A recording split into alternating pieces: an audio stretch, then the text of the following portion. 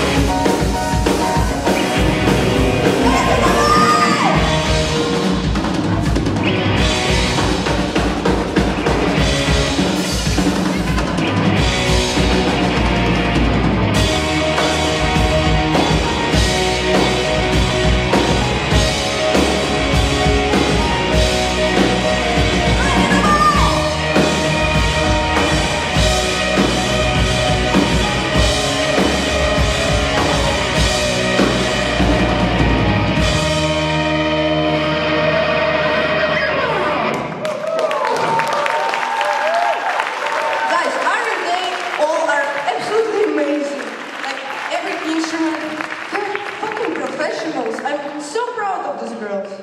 I'm proud of the sisters.